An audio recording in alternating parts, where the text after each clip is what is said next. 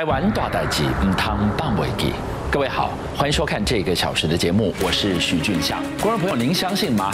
居然遛狗遛出了滔天巨案。事情要从那一年那一天来说起。台南这个民众呢，牵着家里的狗狗出来散步，想说狗狗调皮，一股脑钻进了草丛里面，没多久叼了根骨头出来，他一看，那不就是猪骨头吗？没多想，拿起来往草丛一丢，没想到这么一丢的动作之后。怪事情发生了，哪里怪呢？原来他的狗狗不知道什么原因，居然又钻进了草丛，再叼了一根骨头出来。他一看不得了，是另外一根，而且看得出人手的形状，是个人的手，怎么会这样呢？吓得立刻报警。而在这个草丛堆里，到底藏着什么不可告人的秘密？由爱生恨，切三块。小镇临近午后，这只小狗胖胖特别喜欢到田里去。台南仁德是一个呃很淳朴的地方，那其实，在那个地方，大概这辈子住在那边人也不会遇到有什么惊悚案件，日子单纯，生活没有太多复杂的事。不过这天，胖胖叼了东西回家，我以为是他叼叼这个好，好像是。头酸了去。第一天捡回来一个好像是呃手臂的样子。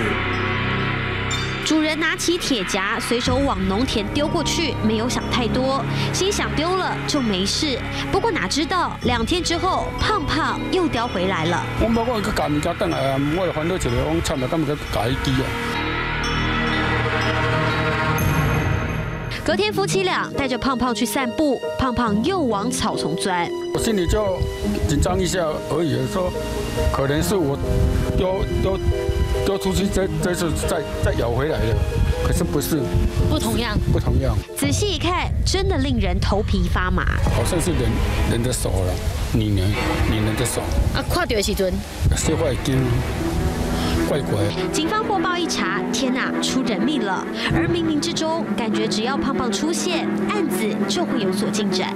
一直往这边跑，很奇怪。那一天，啊，我就跟藏医社的那个先生说：“你跟着他就对了。”可能是要透过这一只狗帮他伸冤吧。还好有胖胖，两只手臂还有头部都找到。由内而外就是第一层就是一块枕头布。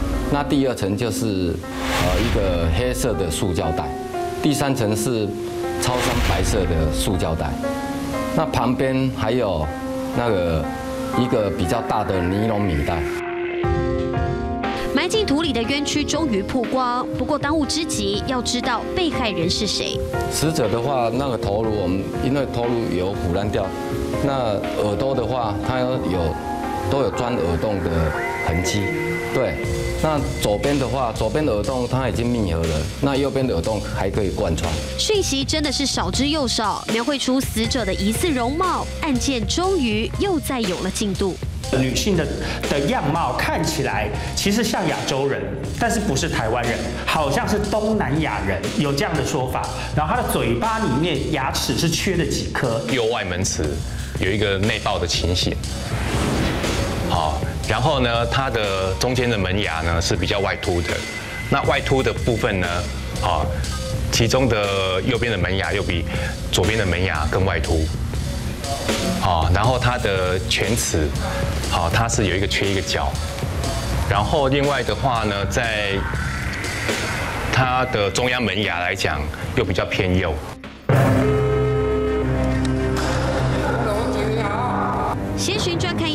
线索一个个进来，不过案子还是陷入焦灼。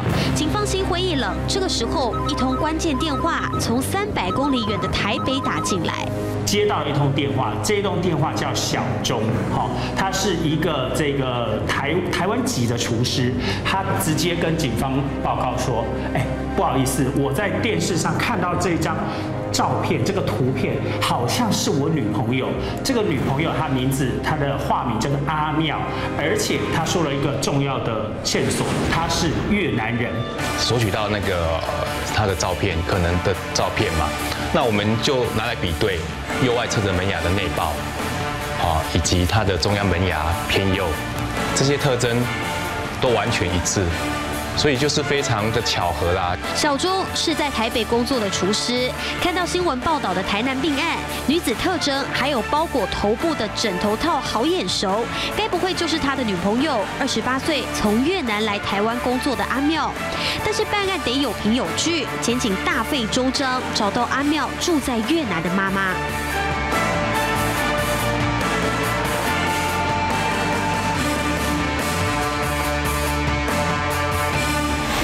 妈妈的 DNA 之后，再去比对死者。台湾、越南两边警方跨国合作，大家同心协力，终于结果果然吻合，所以这个死者就是一个妙龄女子，她的名字叫阿妙，她是一个越南的，呃，可以说是移工啦，她来台湾工作，可是却不幸被害。被证实被害人就是来自越南的阿妙，但到底什么原因竟然惨遭分尸，揪出凶手成为下一个难题。小钟带我们回到之前跟这个死者哈阿妙哈，然后住的一个地方，然后我们也他也提供了很多他私人用品给我们看哈，那其中有一样很重要就是他的所谓的枕头套、枕头巾，那跟我们在案命案现场发现的枕头巾是吻合的。不过警方一查，觉得有点怪，两个人各有家室，为什么一开始没说？是想隐瞒这段地下情吗？有没有可能是杀人导火线？通年比较密集一点，呃，细节部分还有一一些状况哦，算是觉得他好像非常的了解，呃，我们专业小组会怀疑。不过，如果人是他杀的，证据是什么？警方到阿妙在淡水的租屋处追到一条关键线索。然后他二十四号那一天哦，我看到一个男子哦，拖了一个行李箱啊。拉行李箱的男子，他是谁？先生，你来这边要找谁？他说我要去那里帮人家搬东西。他讲的话就不是我们标准的台湾，他就知道说这不是我们本地人。可疑对象有着外国口音，被害人来自越南，阿妙的老公阿怀也来自越南，而人就在台湾，老婆失踪，老公肯定急着找人。就在台南仁德一家泡面工厂工作，同事眼中长相斯文，而且工作勤奋。警方找上他，反应又是如何？第一时间的公职就是他老婆不见了，哦，跑到台中去工作。他有很多的说辞啊，一下说跑到台中，一下就跑到跑回越南了。简单讲就是我老婆不见了，我也不知道她去哪里。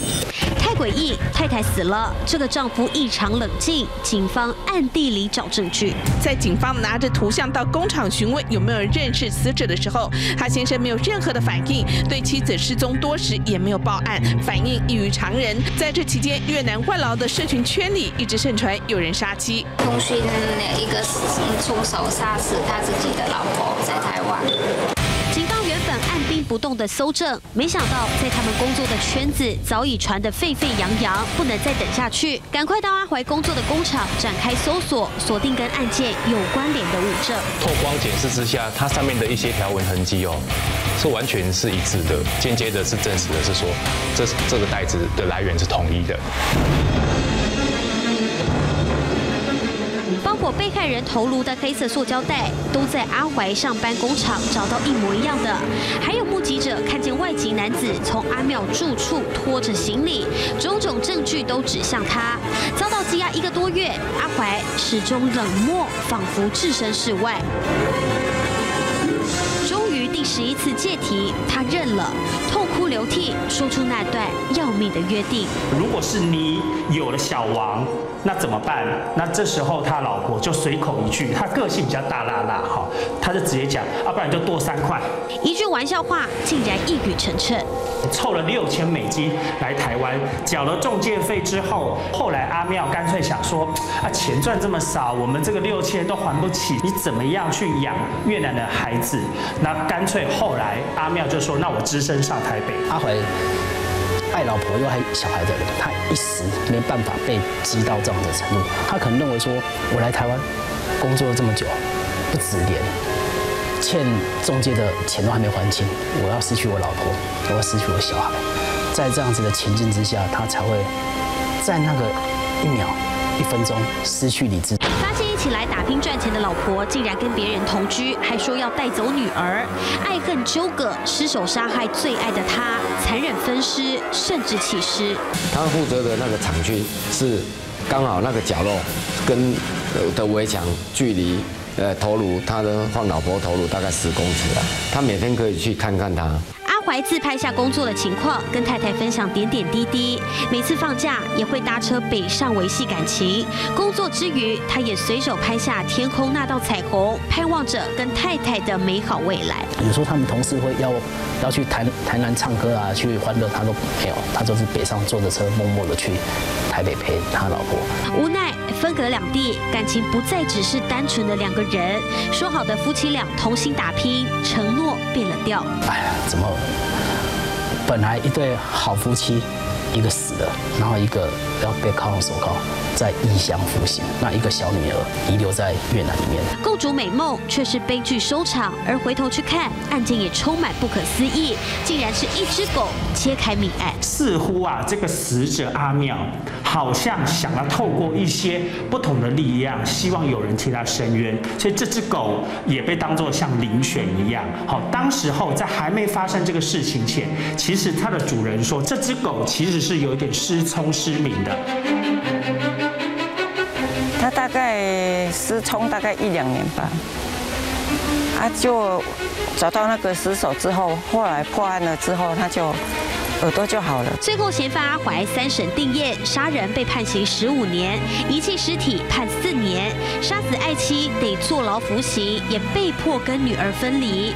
原本是共同打拼逐梦的剧情，却在最后变成悲剧。我们知道妈祖在台湾救度了无数的众生，但妈祖的指示，他得透过代言人或者我们讲的机身来跟民众做沟通。我们今天要给大家看一个故事，这个妈祖的代言人，这个女孩子她叫做刘佳瑜。在担任机身之前呢，她原本是建筑师事务所一个专业剧组，也光鲜亮丽的上班族。她为什么要放弃人人称羡的高薪工作，去帮妈祖来服侍，担任妈祖的代言人呢？背后是一段不可思议的过程。原来刘佳瑜的父亲呢是中坛元帅的机身。那一年有一次呢，刘佳瑜跟着家庙来到了新港的妈祖庙进香，突然走到了一半，他突然整个人抓狂似的崩溃大哭。这突如其来的举动也挡到了后面一连串的进香的队伍。怎么会这样呢？他父亲当然知道，他被妈祖给选上了。但是当父亲的总是希望女儿打扮得漂漂亮亮的上班，然后有一个让人羡慕稳定的工作。女孩子当机身。阿尼甘后，但问题是，横竖妈祖就是挑上你了，妈祖一定有办法。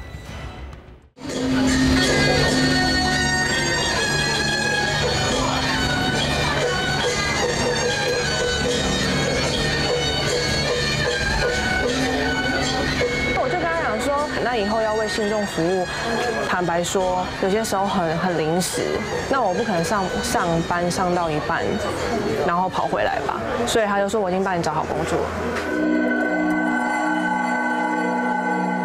后来他跟我说可以做这个，然后每天都在梦中，然后教我要怎么用，怎么用，怎么配色。以前其实我还蛮爱玩的，所以我觉得我静不下来，根本没办法做这些事情。以前很爱玩，以前就觉得玩比较重要，现在就觉得帮助人比较重要。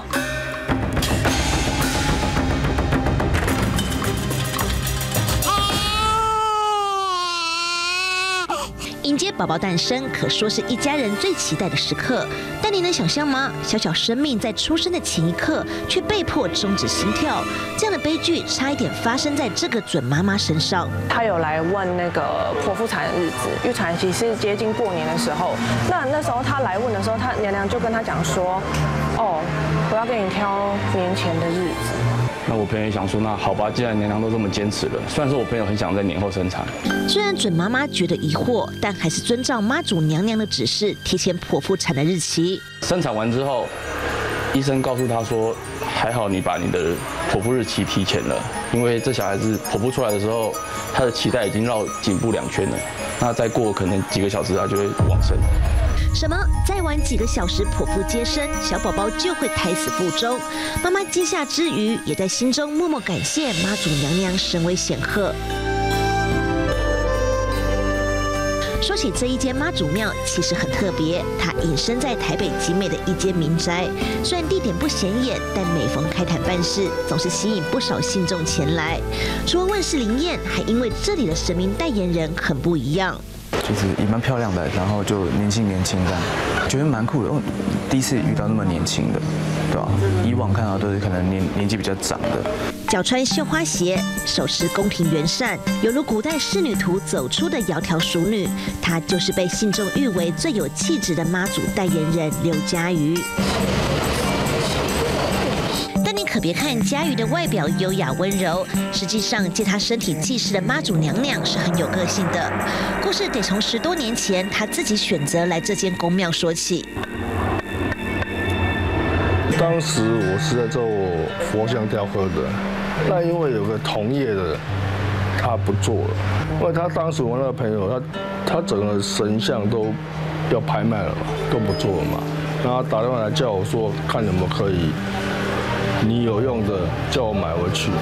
于是刘爸爸前往同业仓库寻宝，说也奇怪，这一尊妈祖金身大约高三尺二，在一片落难神明中应该很显眼，但刘爸爸居然去了第十趟才发现到它。走廊这样子，放在地上，没有很隐秘。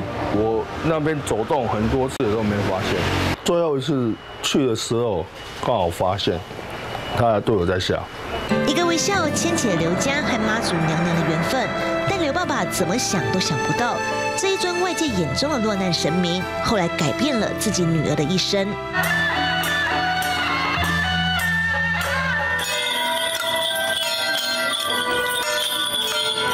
时还不是机身的佳瑜，跟着家人到新港妈祖庙进香。但一抵达目的地，他就浑身不对劲，就是一下游览车的时候，就是浑身不对劲了，就是已经开始麻，手麻、脚麻、头也麻，身体也麻，然后我就一直甩，可是甩也甩不掉。他想，可能坐车坐太久，跟着进香队伍走一走，活动一下，应该就会好。没料到越接近妈祖庙，他的情况越糟糕，越靠近的时候越不舒服，后来我就崩溃大哭。可是哭也不是我想哭，哭到瘫软无力的佳瑜就这样挡住进香队伍前进，造成现场一片混乱。还好佳瑜的爸爸本身是中坛元帅代言人，急忙排除状况。但他心里明白，女儿这是被妈祖娘娘相中了，只是他舍不得孩子一起吃苦。以我来讲啊。就是我进这家公庙，房子是自己的，结果呢，你办事就是，得到的是什么结果？有的人公庙是很好，生活是很好过的，那我们是只能交水电钱。刘爸爸会反对，其实还有一个原因，因为佳瑜曾经被好兄弟产生，对特殊体质十分害怕，未来如果担任神明代言人，可能会面临降妖伏魔的情况。刘爸爸担心他可能会受不了。坐电车，然后经过新海水道，然后余光就有看到一双白色的脚，然后看到之后也不以为意，可是后来回家之后，其实很不舒服。当时家人看佳玉的身体不舒服，都劝她快去看医生，她却坚持躲在房间，谁都不理。有一天晚上，她出门和朋友聚餐，言行举止更是一反常态，就是把自己好像隐藏起来的那种感觉。我平常不是这样装扮，我都是扎马尾啊之类的。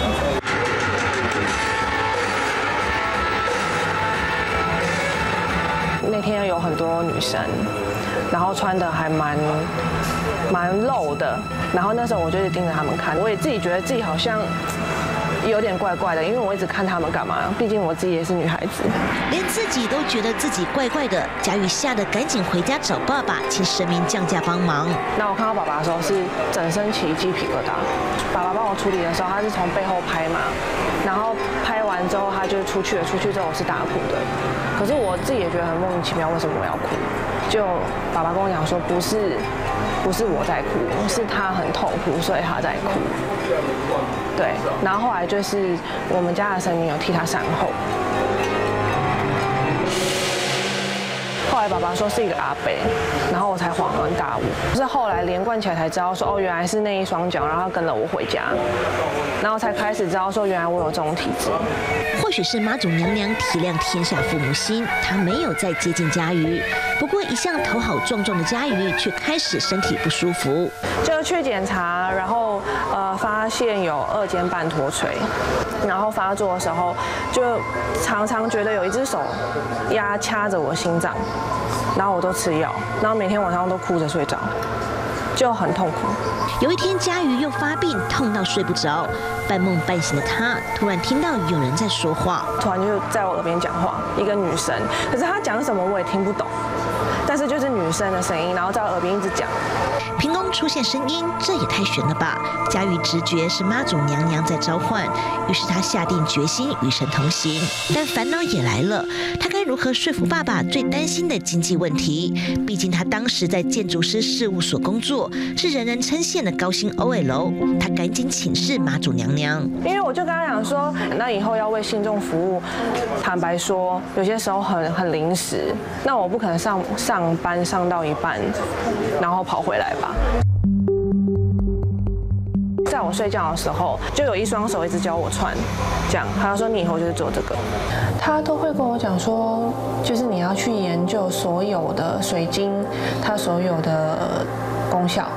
比如说哦，有一个人他想要戴手链，那他可能来找我，他可能就说哦，他的需求是什么，然后喜欢什么颜色，在当下就可以配给他，就等于是刻字化专属他的手链，可以帮忙到他。故事看到这里，你是否也觉得这一尊妈祖娘娘好特别？不光帮代言人佳瑜找好工作，还亲自指导她成为珠宝设计师。但更特别的还在后头，因为佳瑜被借体时的一身华丽复古风装扮，也都是娘娘一手打造，俨然就是时尚女神。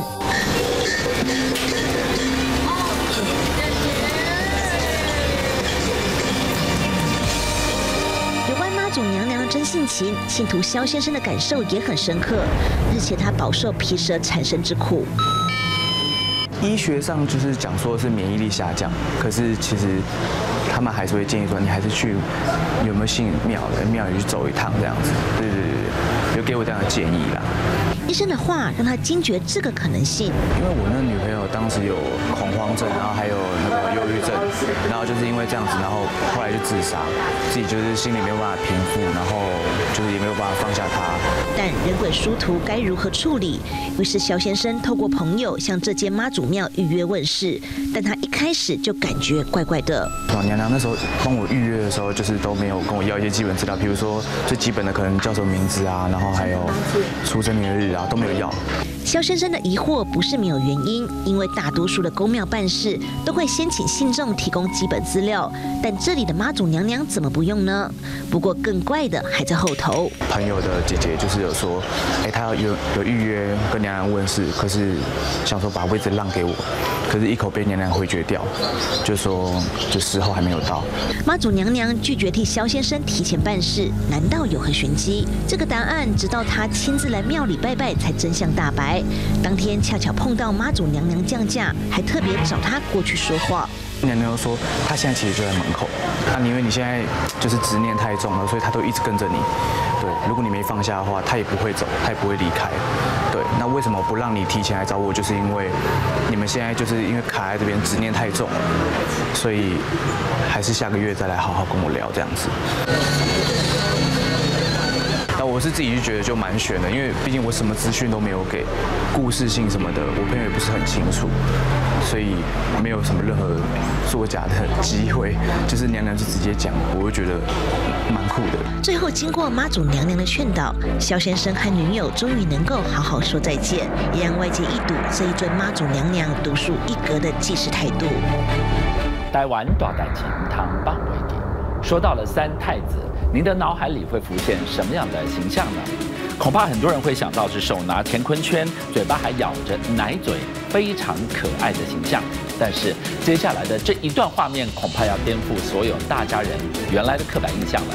我们带大家到新北的三峡来看看这位三太子的机身，他怎么样的办事呢？他在整个过程当中啊，他都紧闭双眼，甚至出门去帮人家办事、去驱魔的时候呢，他都还要用红布绑住他的双眼。信徒说：“你别以为他眼睛看不到了，走起山路他是健步如飞，真有这么神奇吗？”我们也实地访问到了这位三太子的鸡童，问他怎么会跑到这个地方变成了鸡童呢？他说：“原来背后是一段跟三太子穿梭阴阳界的条件交换。”说的这么玄，到底发生什么了？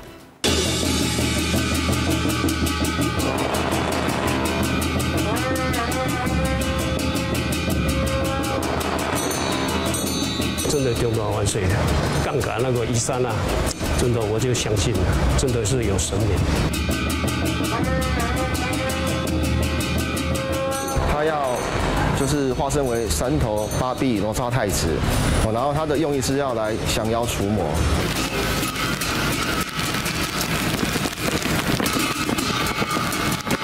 我门足低啊，啊，伊囝遐悬，伊行到倒伊张下个，伊后面哦，伊张行，会张啊电梯拢暗蒙蒙哦，啊结果有到厉害。在庄严的木鱼声中，眼前的男子不停摇头晃脑、抖动呕吐。他是中坛元帅三太子的机身，众多信徒正在等着助攻降价。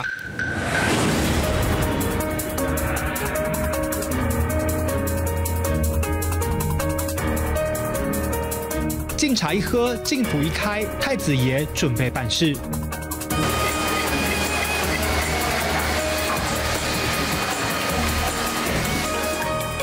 亲力亲为、细心的帮人处理疑难杂症，与机身的严肃面孔形成了强烈反差。信徒说，这里的太子元帅就是这么慈悲。一般人的手就不会温度不会很高，他的手很高，敷下去哇，真的很舒服。照顾信徒无微不至，但您发现了吗？三太子降价办事后，全程紧闭双眼，却总是能明察秋毫，有这么神吗？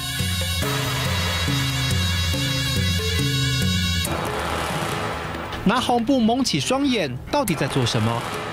像信众有冲煞道，然后有卡音，我们中坛元帅他也是呃转为武架的方式，然后蒙眼睛来为信众解厄。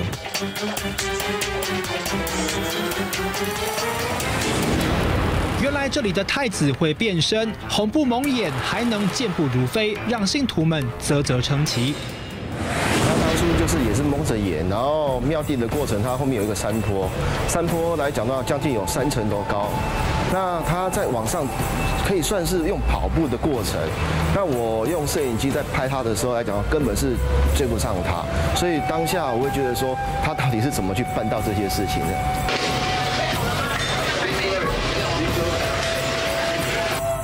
就算不开眼，帮信徒这盖动作依然行云流水。手里的剑就是能精准砍到位，甚至还能使出传说中的悬丝诊脉。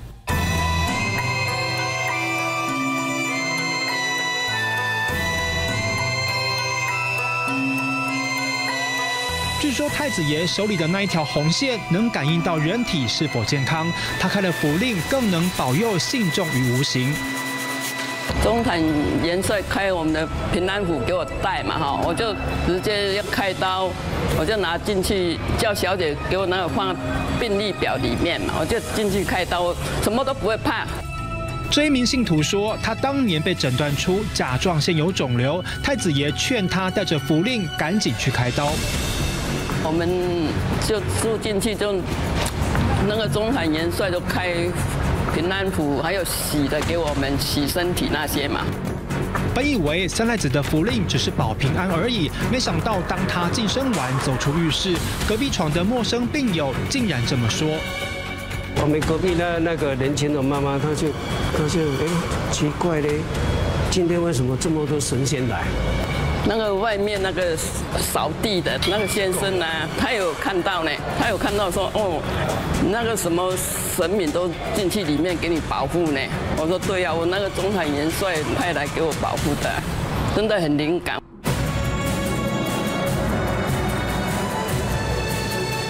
一张符就能召唤诸仙佛庇佑，真的吗？这位李小姐说，她的经验更悬了。几年前，她被检查出大脑长了肿瘤，但是脑部动刀风险极高，她没有勇气走进手术房，但是那一天却做了一个梦。一暗梦境，就是一个囡仔骑一台三轮车，啊，夹一支香为我目睭拄落，啊，拄落我天光知，我目睭就出血。天呐！恐怖的梦境成真，怎么一觉醒来眼睛出血？医生说没事，他却放心不下，连忙到宫里请示三太子。我讲中断万岁啊，我哪会目睭出去感染脑的问题？伊讲你爱去动刀，袂使唔去开刀。我讲我会惊开刀，我会惊。伊讲伊会甲我保庇，但是你农历的三个、四个袂用动刀，一定这两个月过后才去动刀。为什么五月才能开刀？李小姐当下没有多想，决定乖乖听话，先到医院评估手术再说。我就是先去中心检查，检查的时阵，这这大动脉，大动脉落这支脚六点钟袂用点动，全困困去的时阵，我梦一个梦境，就是看到阮阿嬷穿足水的行去阮客厅入去。啊，我我心内想醒起来时阵，我想阿嬷穿遮水，哪会行去客厅入去？了，我就出年三工出年倒，阮阿嬷就正常过往啊。怎么会这样？当时正好是农历三月，李小姐觉得不妙，因为她的母亲也刚好卧病在床。难道太子爷话中有话？我较戆直，我甲阮老母讲，伊啊伊啊，我要来开刀啊！啊，所以无你等我，我若开无成，咱两个才做伙行。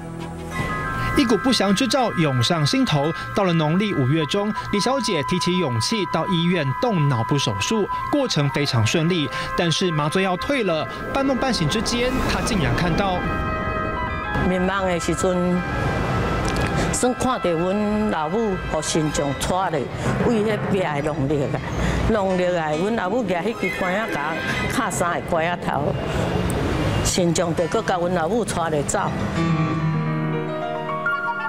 梦里的妈妈拿拐杖敲床头，难道是代表着？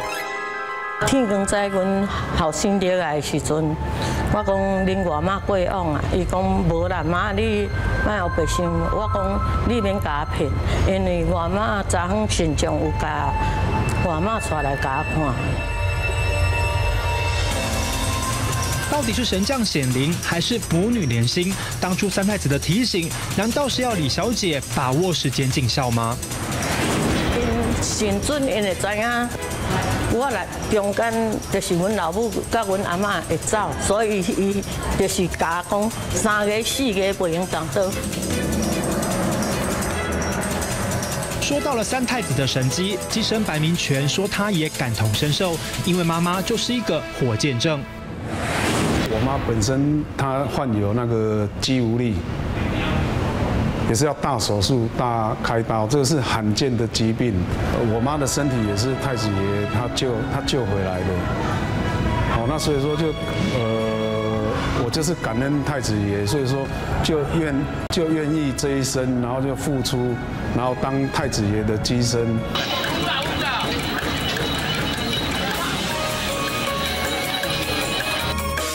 同样是双眼蒙着红布，这是在民国七十九年时白明权替三太子办事的画面。时隔至今超过三十年，信仰之所以如此虔诚，除了神明救了妈妈一命，肯定还有一段神秘的故事。我十岁的时候，我自己在延平北路大概六段七段那边，自己请一尊太一尊那个太子爷的神像回来，然后供奉一阵子，然后觉得身体好像会呕吐啊，会不舒服这样。是空，这是不容易。怎么会这样？难道是被俩低了吗？这时候妈妈告诉他，一年前所遇到的怪事。有跟我妈托梦，然后托梦就说你儿子要让我当机身，然后我我妈妈她不同意，因为那时候刚好是我父亲，我父亲刚过世没有多久。原来早在白明权起机的前一年，三太子就跟他的母亲说要俩鸡，但做妈妈的怎么忍心？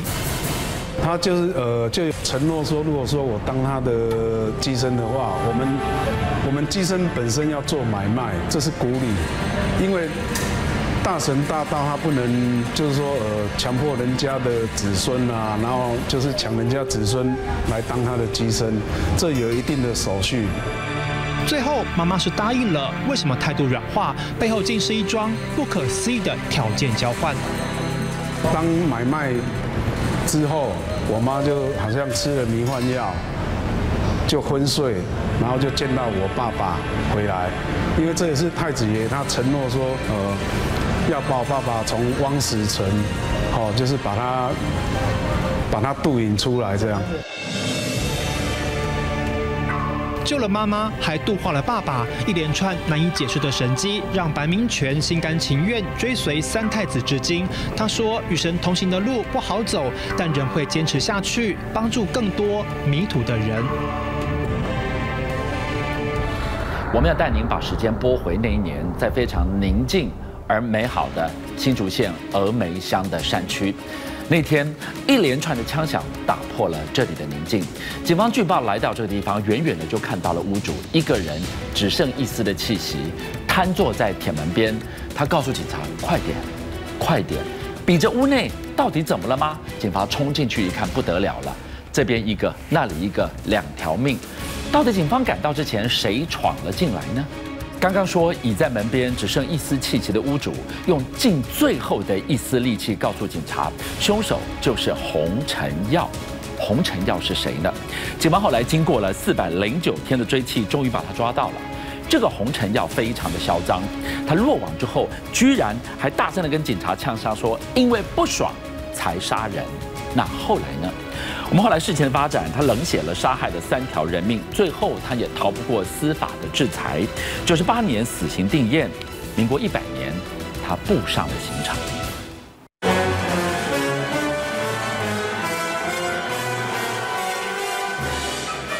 中午时分，屋主雇来的外佣在厨房做菜，突然间外头传来一连串的枪声，是谁闯了进来？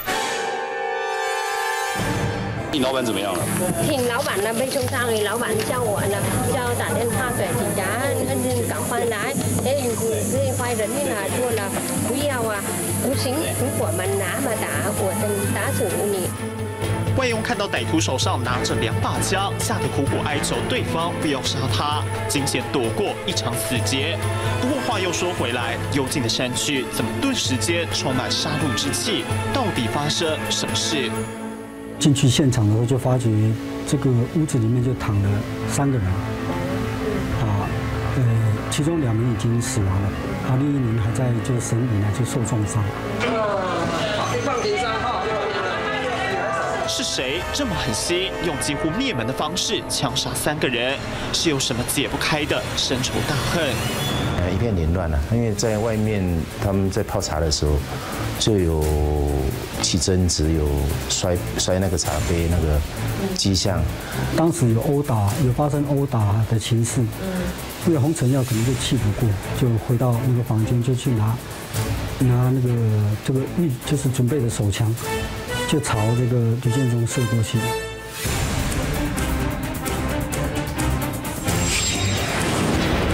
手就是绰号阿俊的洪承耀。这是送医之后的屋主趁着仅剩的一口气，告诉警方的线索。可惜的是，屋主说完之后就断了气息。很快的，警方锁定了洪承耀。他们也想知道，为了什么事，竟然一下子夺走三条人命。金钱上面哦，他们就没有分得很清楚，导致这阿军就认为说，这个就是这个女妻死者的太太啊，就是他算算老板娘，说还积欠他钱，他不给他。认为合伙做生意赚来的钱被私吞了两百多万，心有不甘，展开报复吗？警方根据他所驾驶的小客车一路追查逮人。他做完案之后，就从沿着那个后山逃窜了哈。绰小慧的一个女朋友跟他讲说，他杀了人了，他可能要逃亡了哈。洪承耀犯案之后展开逃亡，但他逃得掉吗？警方在他的桃园住处找到了破案契机。他有这个相当严重的这个糖尿糖尿病，他要一天要施打三次胰岛素。需要固定施打胰岛素，嫌犯肯定跑不远。警方分析监视器还有通联记录，研判他最有可能躲回嘉义老家。不过问了家属，结果避重就轻。更奇怪的是，洪承耀就像断了线的风筝，音讯全无。他不使用啊这个行动电话，而且跟他的朋友完全断绝啊相关的关系啊，他可能怕啊在警方在通讯监察啊。这个追查到他的落脚处啊，所以这一部分他啊不跟对外联络，几乎是断了消息，家属却又避重就轻，这反应很奇怪，越不说越代表有鬼。因为红尘药每天都需要胰岛素，警方决定继续追，每一天大概要打两剂的这个胰岛素啊，那我们警方也从。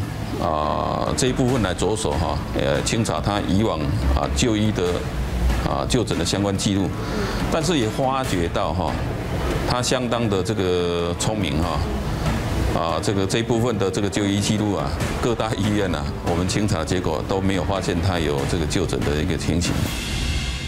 怎么回事？洪承耀就像人间蒸发，他不会是挂了吧？警方采集家属简体和无名尸进行比对。但没有结果，难道被他枪杀的三条人命要含冤而终吗？就在案发快一年，江湖上又听到了“红尘药”这三个字。这个王姓朋友啊，啊，居然呐，这个跟啊打着红尘药的啊这个名义啊，跟下游啊刀商啊要这个相关的一个工程款。那专案小组知道这个讯息之后啊，也顺着去追查，哎，确实有这有有这件事情，那我们才辗转啊，才知道说，哎，他可能应该是，哎，还还在厂里啊。会躲在哪里？专案小组查出，不论是王八机或者是公用电话打出去的，都在洪承耀的老家附近。警方研判，洪承耀应该还活着，他可能在嘉义躲了一年，这回就算拼了命，也要把他带回来。怎么做？先不打草惊蛇，锁定洪承耀的哥哥，展开跟监。跟到他亲人的时候，那时候当时也不晓得他躲到哪一间了，就就是跟他亲人。就进去那个西边影院店里面，他他哥哥抽洋烟啊，但是他买了两包的白黄长寿，他又买他最爱看的那个，呃，那自由时报，又买咖啡，我们就直接怀疑这这这这个就有问题啦。哥哥去买的香烟、咖啡还有报纸，会是给洪承耀的吗？他或许可以带着警方找到人。最后来到嘉义民雄乡这一栋透天厝，找了一年的洪承耀会在里面吗？只要有热车车道，我们看看到他哥哥拿着那个热热色袋放到外面的时候，交给热色车的时候，我们就去追追热色车，我们就看那个颜色，什么颜色的？那热色袋红色的，赶快！他出来的时候，热色车出来的时候，赶快我说有一个人拿红色的热色袋，那时候一排红色没有关系，全部抱走，全部抱走。就跑到合体那里，一个一个拆开来，看看有没有这一家的。哎，真的找到，真的找到那个胰岛素。追乐色竟然追出了胰岛素，这让警方为之一振。他一进去，那老板说你要什么？说我不要什么。那个前面刚刚买什么？他说他说买胰岛素。怪了，哥哥没有糖尿病，为什么需要胰岛素呢？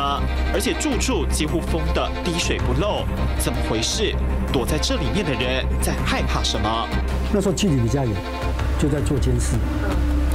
因为他那个歹徒也是蛮狡猾，他二楼哈，二楼几乎都用这个木板，算是算是遮住了，不是封死，而算是遮住，所以一些动静我们完全看不到。我们在晚间啊，二十四小时的啊，在。灯光昏暗的这个状况之下，要监控啊这个特定的一个建筑物跟特定目标，啊相当的辛苦啊。那就是我们透过啊啊这个通讯业者啊来帮忙啊，架设这个高倍数的啊这个摄影器材。在乡下地方监控，就怕打草惊蛇。警方最后找到了一处鸽舍，远远观察他的一举一动。一个多月过去了，终于等到最接近红尘药的这一刻。隔两天要有台风来，就我们那边在那里，就是负责监控的同仁就看到有人骑单车出来，但是夜晚又看不清楚。没有多久，他马上又钻进去了。就那时候我们就就是就是调所有可能进出那里的人的那个基地台，他哥哥、他侄子还有他的女朋友都不在那里啊。那那更能确定这个里面住的就是我们要的钱，而且身影都很像。警方决定利用拂晓初级，出动约五十名警力展开攻坚。我们也因为了解他持有强大的火力，我们尽量就不要去硬攻啊。不硬攻，而是用智取，果然拿到钥匙。经过我们跟他哥哥啊啊小雨大意啊开导之后啊，他认为说，哎，应该啊这个配合警方的这个侦查啊，避免啊避免在整个啊弃捕围捕过程当中啊有所伤亡。霹雳小组的成员当场压制住还在睡梦中的洪承耀，让他插翅也难飞。我们在外面就听到，就他的惨叫声，可能被盾牌压到了。警方在他住处起出了两把手枪，还有四十四发子弹。在逃亡期间，洪承耀改变造型，剪去了长发，但不变的是他的个性依然凶狠。我们冲到现场去，有看到他真的是满脸惨白，他可能也也想不到会这样落网。但是从他闲聊里面，他真的对这个三位被他被他打死的三位死者，他他也一样，他说他不会后悔。我们还问他嘞，我说你这样睡得着？他说很好睡，一公一交好捆的。他说他赶赶快把他打掉，他要下去找这三个报仇。洪承耀坚持不认错，对死者的恨意以及冷血，天理都难容。被害人还有气息的时候，他还从背后来开枪啊！他甚至还扬言哈，还要杀死这个啊女性被害人的啊妻子，还有他的儿子。因为合伙做生意，两百万的利益，竟然冷血杀害了三条人命，连无辜的邻居也不放过。最高法院在九十八年四月判决洪承耀死刑定谳，民国一百年执行枪决。曾经被媒体称为双枪恶煞，碰到生死交关已不见当年的痕迹，而是由法警搀扶步入刑场，走完他人生的最后一程。今天一个小时节目看到这个地方，我们为大家介绍了这位气质才貌兼具的妈祖的代言人。本来是建筑师事务所人人称羡的高薪 OL，怎么会跑到庙里来服侍妈祖呢？原来背后什么事情的发生都是美好的发生，对他来讲也是最玄奇的发生。妈祖总有办法，他也相信心诚则灵。待完短短集看到这个地方，感谢您的收看，我们下周见。